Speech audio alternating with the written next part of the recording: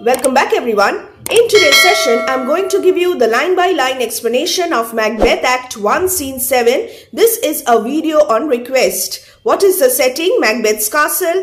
Hautboys and torches enter a sewer. Originally, a steward's duty was to taste of each dish to prove that there was no poison in it. Later, it came to be applied to the chief waiter, the chief butler, who directed the placing of the dishes on the table, and divers, several servants with dishes and service, and pass over the stage, then enter Macbeth. Dramatic significance of Act 1, Scene 7, point number 1. The temptation of Macbeth reaches the culminating point in this scene. And uh, here we have the famous soliloquy of Macbeth. This is a complex soliloquy which must be analyzed very closely to understand the working of Macbeth's mind. Dear girls and boys, note this down. This soliloquy must be closely analyzed to understand the workings of Macbeth's mind, a critical comment and you can use this when you are writing your long answer questions or short answer questions. The opening soliloquy is a most marvelous example of Shakespeare's immense dramatic power. Use this as your introductory statement whenever you're writing your LAQs or SAQs, short answer questions. I'll help you to understand this complex soliloquy. So let us begin the explanation now. If it were done, when it is done, it, Duncan's murder. If it were done, if it were completed when it is done, then it were well, it were done quickly. If this murder were done with, that is, it were to leave no trail behind it when it is committed, then it would be better to do it quickly. If the assassination, Duncan's murder, regicide, could trammel up the consequence and catch with his surcease success, Trammella, the expression means to catch, to entangle as in a net. A bird cannot fly away when it is caught in a trammel or net used for catching birds like partridges that hide in the grass. And to trammel up the consequences, this expression means to capture the consequences of the deed in the very doing of it, so that the consequences do not escape to plague the doer afterwards, could trammel up the consequence and catch with his surcease success, surcease secession. It is a legal term denoting the stay of proceedings in a suit. Catch success by the death of Duncan. That, but this blow might be the be all and the end all here. If this blow could be the existence and conclusion in itself, the point being made is still the same. If this blow were complete in itself and did not lead to other things. But here, upon this bank and shoal of time. But here, only here. And this bank till shoal of time? Bank and shoal refers to a narrow strip of land between water the image is of a short span of life which faces an endless future after death, the eternity afterlife. We would jump the life to come. We would jump the life to come. We would risk the life in the next world, that is, the life after death. Now, the first seven lines, I'll explain it in detail very in a very simple manner. Just listen to me properly. Here, Macbeth is analyzing the consequences of Duncan's murder.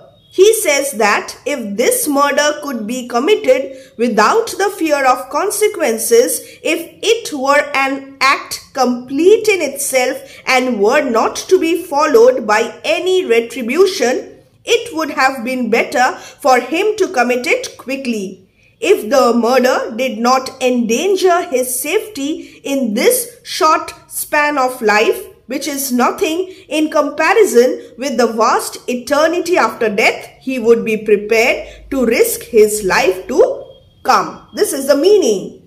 The prospect of killing a man who is an unsuspecting guest has unnerved Macbeth here. And so he has come away from the table to wrestle with his conscience. Keep this in mind. What is Macbeth doing here? He is wrestling with his conscience. So if I had no need to fear immediate consequences, I should at once kill him, kill Duncan. Moral scruples do not deter Macbeth. He does not care what spiritual punishment await him after death. He is merely afraid of what might happen to him here if he murdered Duncan, the earthly consequence. He is worried about that. He feels that uh, he is still hesitant and is scared by the thought of possible consequences if he could escape suspicion, possible consequences, if he could escape suspicion and punishment here in this life, he would not hesitate to take the risk of divine judgment hereafter. But in these cases, we still have judgment here. So he says that judgment on our deeds always awaits us in this very world that we but teach bloody instructions which, being taught, return to plague the inventor. So, but in things like these, the judgment is executed on earth itself. When we murder, we teach others how to murder and our actions recoil on our own heads. This even-handed justice. What is the meaning of this even-handed justice? Justice is being presented here with hands holding equal weights and therefore completely fair. So justice, which is always fair, offers to us the poisoned contents of the cup which we might have prepared for someone else. So today if we murder something, uh, today if we murder someone, we are teaching someone else and that someone else may someday murder me, murder us. So this even-handed justice commends the ingredients of our poisoned chalice. Justice offers to us the poisoned contents of the cup chalice to our own lips, which we might have prepared for someone else. So in this way, we may reap the consequences of our evil act. Justice is impartial and it forces us to drink the poisoned contents of the same cup which we have prepared for someone else. You're in double trust. Who is he? Duncan is here in double trust. This is very, very important. What are the reasons why Macbeth is hesitating to kill Duncan? We have a number of reasons. The first one, first, as I am his kinsman and his subject. Duncan has come here in double trust. First, my being his kinsman as well as his subject are two reasons why I should not kill him. Duncan is entrusted to me in two ways. I am his relative, kinsman and his subject as well. So this is number 1. Kinsman and his subject, strong both against the deed. What is the deed? Assassination of Duncan. And what is the next reason? Second reason. So this is reason number 1. And the second reason is as his host. So I am Duncan's host also who should against his murderer shut the door, not bear the knife myself. So as the host of Duncan, it is my duty to defend the king against any murderous assault rather than murder him myself. So these reasons are strong enough for me not to murder King Duncan. Besides, the third reason, Reason number three. Besides, this Duncan hath borne his faculties so meek, hath been so clear in his great office, that his virtues will plead like angels, a simile. Duncan has exercised his kingly power so gently. He is such a fair and good king that this reason is also a testimony to the fact that I must not think about killing Duncan. Duncan has exercised his kingly power so gently. Duncan has been kind and benevolent as a ruler. Duncan is being portrayed here as a great king. So for this reason, I think I should not kill King Duncan. He has ruled so gently, he has been so fair and modest in the discharge of his royal duties that if he is murdered, his virtues will cry out to the world loudly like a trumpet. So this is important. Try to understand all these lines that his virtues will plead like angels simile trumpet tongued loudly against the deep damnation of his taking off. What is the meaning of deep damnation of his taking off? Macbeth thinks that Duncan is so blameless in his conduct as a king that his virtues will protest against his murder with the voice of angels and trumpet tongued with tongues as loud as trumpets speaking to the whole world and the deep damnation, the outrageous deed of murdering King Duncan. Regicide is a sin. God, uh, it is believed that the king is a representative of God on earth. So if somebody kills the king, if regicide is committed, then this is deep damnation. And pity, like a newborn naked newborn babe again a simile striding the blast or heaven's cherubim horsed upon the sightless couriers of the air shall blow the horrid deed in every eye what will happen if regicide is committed here, Macbeth tries to analyze the situation before resolving to murder Duncan. To begin with, he notes his double duty to the king as a kinsman and as a host. Next, he observes that Duncan has been so meek and gentle in his conduct as a king that his murder cannot go unavenged. His followers will definitely suspect the murderer and will avenge. His virtues will protest against his murder, speaking like angels through a trumpet and pity like a naked newborn baby or a cherub mounted on the invisible horses of the air will proclaim this outrageous crime to the whole world and make everyone weep. Pity is being personified here as a naked newborn baby who is typically suggestive of sympathy and compassionate feelings. Striding the blast riding astride the storm, and cherubims, cherubs, angelic children. So, sightless, what is the meaning of sightless couriers of the air? Invisible, fast horses, that is the winds, shall blow the horrid deed in every eye and cause it to fill with tears. When the wind of pity for Duncan blows, it will make every eye so full of tears that the wind itself will be drowned. This is the meaning of this section.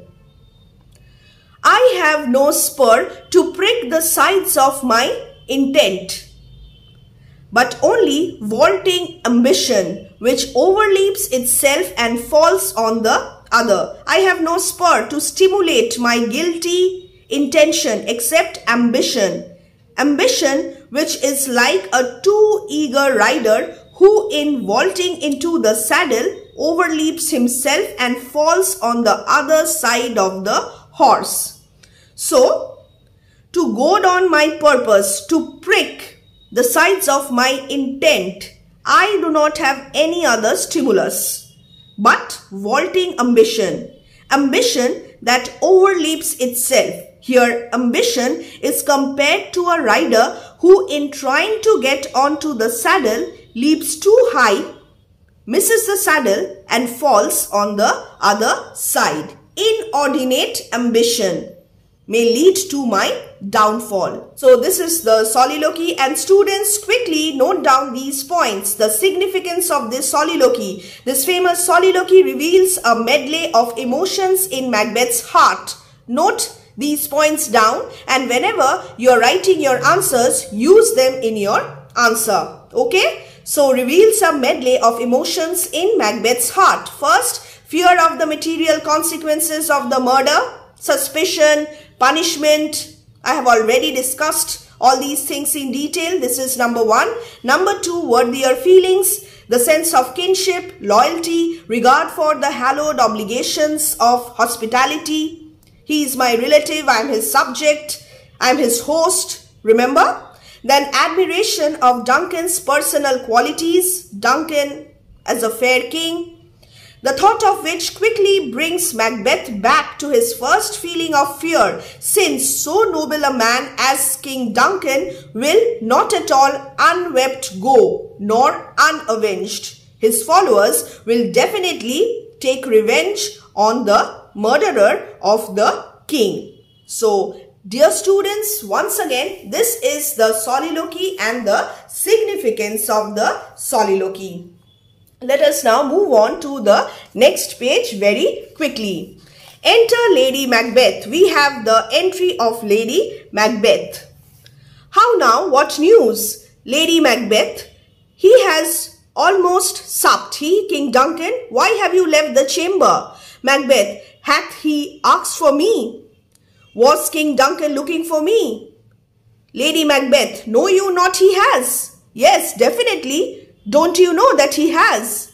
Macbeth, we will proceed no further in this business. He hath honored me of late. Here, Macbeth is sharing his feelings, his hesitancy with his wife, Lady Macbeth.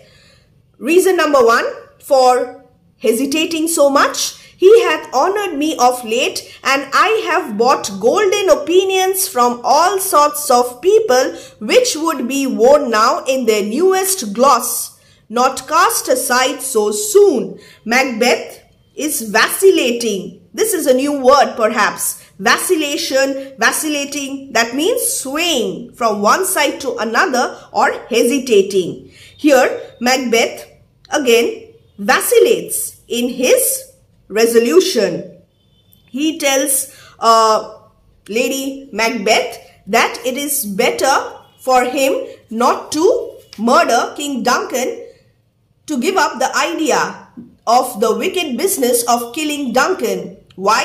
Because lately he has conferred great honors on Macbeth and because Macbeth has won the good opinion of all kinds of people which he would like to keep fresh and shining and not throw away, not cast aside so soon.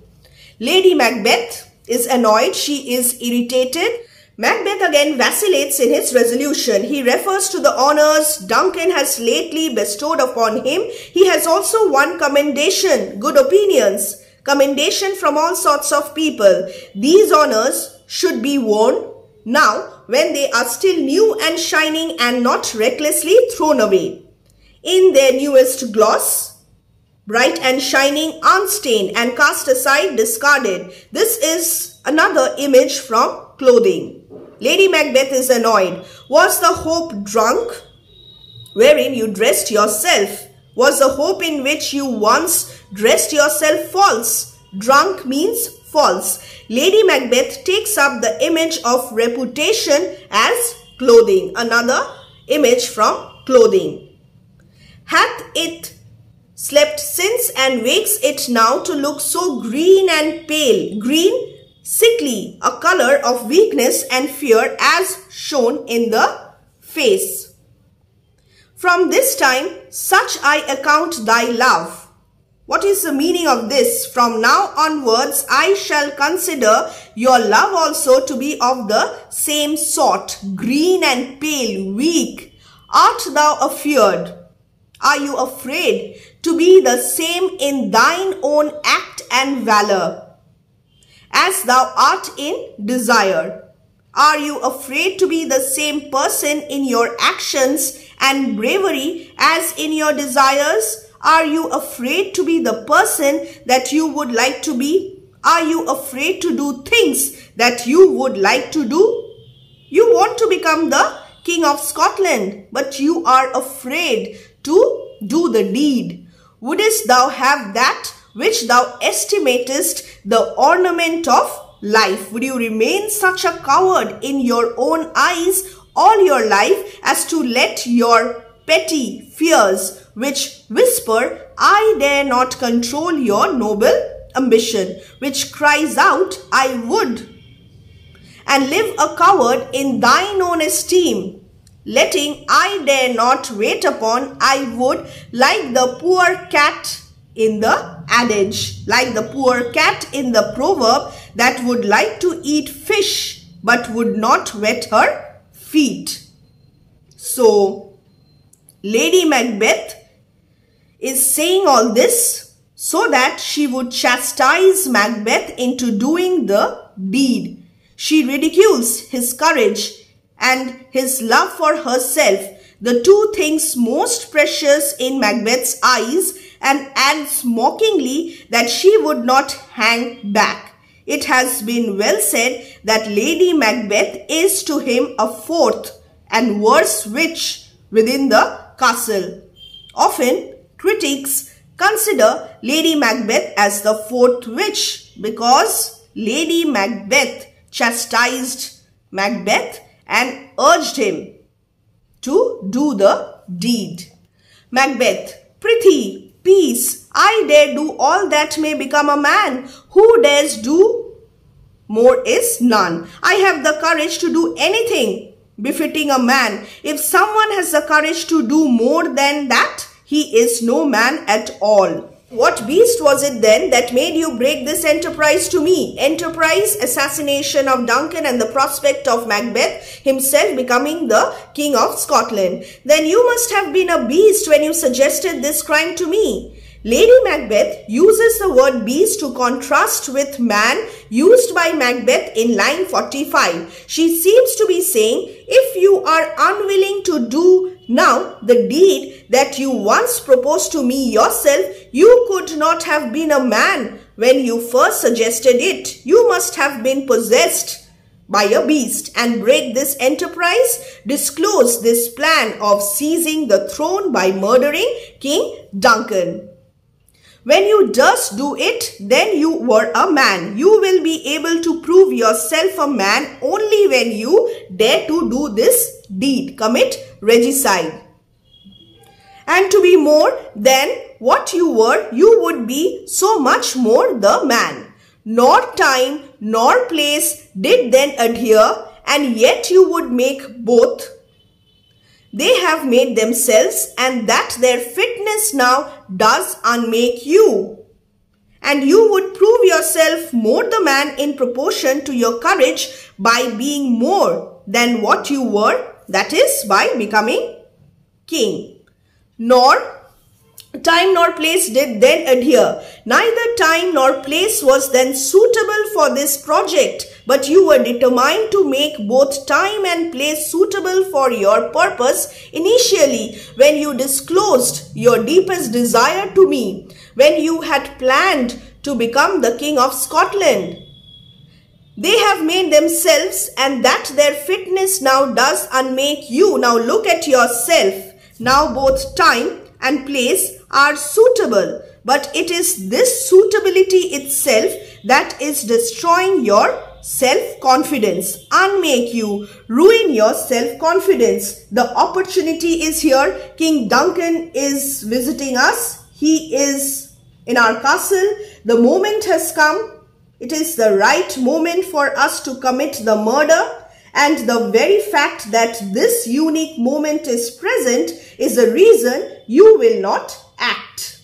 So the fitness of time and place is making you nervous. I have given suck and know how tender it is to love the babe that milks me, how tender it is to love the babe that milks me, how affectionately the mother feels for the baby that sucks her. I would, while it was smiling in my face, have plucked my nipple from his boneless gums and dashed the brains out, killed it by dashing its brain out. Here, according to Lady Macbeth, I have suckled my baby and I know how tender it is to love the baby that sucks me. But if I had sworn as strongly to kill the baby as you have done to murder the king, believe me, I would have snatched my breast from its toothless gums even as it were smiling at me and dashed out its brain. Just because Lady Macbeth paints the horrible spectacle of plucking her child from her nipple and dashing out its brain, we must not condemn her as a cruel woman. Here, she appears to be ruthless, merciless and unwomanly. But what is she trying to convey here? What is the real meaning? The real meaning is completely opposite. Here, she tries to remind Macbeth that he had made a promise and uh, she is trying to remind Macbeth of the solemnity of his promise to undertake the plot against Duncan. Macbeth had promised to kill Duncan in order to become the king and therefore he must keep his promise. He must not break the oath. Had she sworn, she would have done that which was most horrible to her feelings rather than break the oath. And she is referring to the babe that milks her because she is trying to convey that a mother and son relationship is one of the most intimate relationships, one of the closest relationships on earth. So, had she made a promise, then she would have destroyed her infant to keep her promise. Macbeth, if we should fail, what will happen? Lady Macbeth, we will fail. But before that, let me just tell you another thing. These words of Lady Macbeth have also raised the question of how many children she has. But here the question is totally irrelevant. As pointed out, Lady Macbeth alludes to a child to impart emphasis to her speech. Here she is just trying to remind Macbeth that he must in no circumstances break his oath. He has made a promise. He must go to any length to keep that promise. In your give reasons, all these pieces of information are going to be really helpful. So listen to me carefully. If we should fail as a result of Lady Macbeth's goadings, Macbeth no longer shudders at the image of murder. There is a change in Macbeth, but he still feels discouraged by the prospect of failure. His moral scruples have been partially overcome, but he feels frightened by the idea of failure followed by retribution. So, we fail. Lady Macbeth is quite convinced that they are not going to fail. But screw your courage to the sticking place and we will not fail. This famous reply can be regarded in three ways. Number one, as an, as an exclamation of disdain at the very notion of their failing. How can they possibly fail? An exclamation of disdain. Number two, as a surprised question implying that she had never thought of failure. And number three, as a quiet acceptance of the consequences of failure, implying, well, if we fail, we do and must bravely pay the penalty. The first rendering, here the first explanation seems to be the best. It harmonizes with her mocking, goading tone. She drives him into the deed by her scorn. Dear students, use these terms and words expressions as well in your answers. Very, very important. But screw your courage to the sticking place and we will not fail. Only tighten your courage, Macbeth, until it is firmly fixed and we shall not fail. This metaphor is taken from the screwing up of the chords of a stringed instrument. that is the harp, to their proper degree of tension. When the peg remains fast in its sticking place, that is in the place from which it is not to move. What is the metaphor? The chords of string instruments like the harp screwing up these cords to their proper degree of tension. When Duncan is asleep, where to the rather shall his day's hard journey soundly invite him his two chamberlains. The hard journey undertaken by the king during the day is likely to make him sleep soundly. After King Duncan has gone to sleep and Lady Macbeth is sure that after the tiresome journey of the day, he will be sleeping very soundly, what will she do? She will make his bodyguards dead drunk with wine and merrymaking, so that their memory, supposed to keep watch over the brain, will get blurred and their reason will be stupefied. Soundly invite him his two chamberlains, attendants, bodyguards, will I with wine and wassail so convince that memory, the water of the brain shall be a fume and the receipt of reason a limbeck only. The wine and merrymaking will overpower them. They will be overpowered. Their senses will be overpowered with drinking and merrymaking.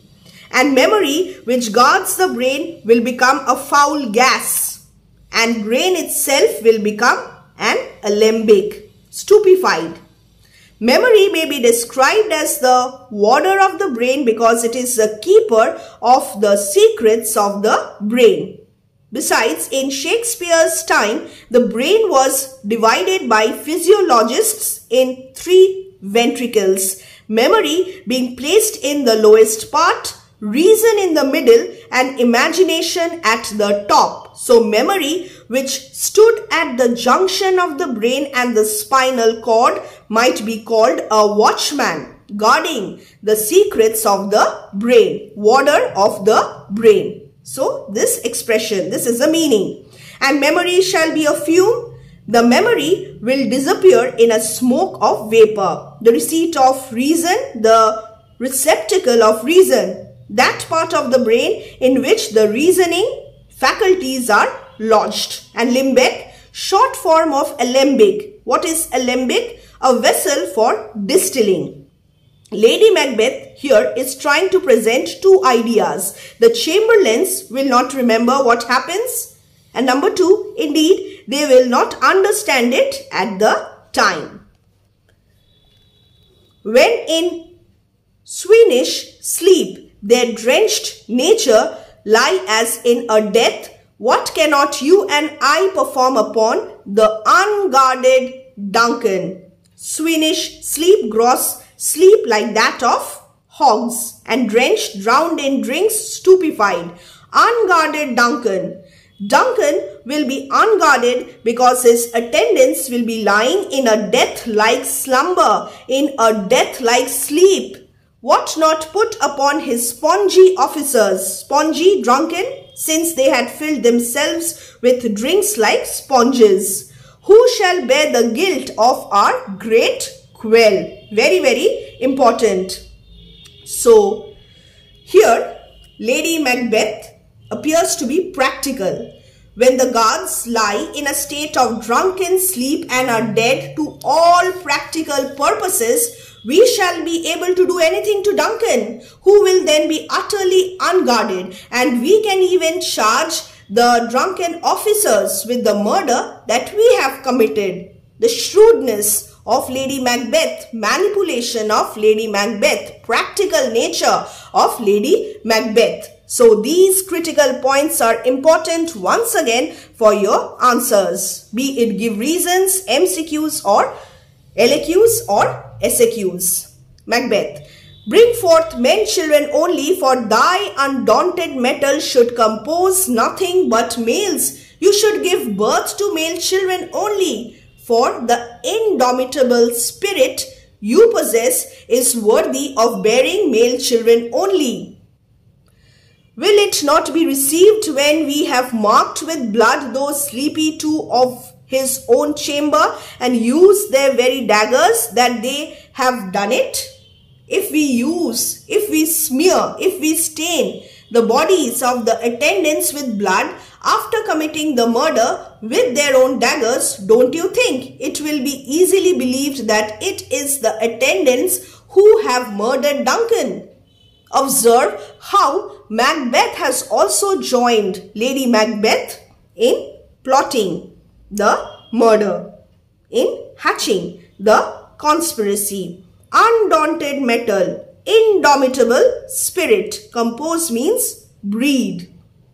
And uh, since we shall be using for murder the daggers belonging to the attendants and after the murder smear their bodies with blood, will it not be believed that it is the attendants who have murdered the king? Macbeth's turn. It is Macbeth's turn to suggest the details of the plot. Very important. Who dares receive it either? As we shall make our griefs and clamour roar upon his death. Who will dare to accept it otherwise than the truth? For we shall make loud demonstration of our grief. We will pretend to be so sad after the death of King Duncan that no one will suspect us. We will make a very loud expression of grief at his death. Macbeth, I am settled and bend up. I have made up my mind now. I have made up my mind now and am ready. I'm making each faculty of my body ready for the murder. Bend up, strain. And here the metaphor is that of stringing a bow. Here also we have a metaphor. Each corporal agent, each part of my body to this terrible feat. Away and mock the time with fairest show. Deceive the world with a happy face Macbeth's role here is completely different. He is no longer vacillating. He is no longer hesitating. He has made up his mind. Let us go now and put on the most smiling appearances and deceive others with a happy face. The theme of appearance versus reality. Earlier, we noticed how Lady Macbeth had instructed Macbeth to pretend to be happy. And now Macbeth is a changed man. He too is telling the same thing that he must, they must go and pretend to be happy. False face must hide what the false heart doth know. An innocent looking face must conceal the treachery in the heart. Guilty thoughts in the heart must lie hidden behind an innocent face. Dramatic significance of Act 1 scene 7 point number 2. Note this down. The dominating personality of Lady Macbeth sweeps away all the hesitancy of Macbeth and a potentially noble person finally becomes a traitor, a murderer and a revolting criminal. So this is very very important. Macbeth is transformed here into a traitor a murderer and a revolting criminal.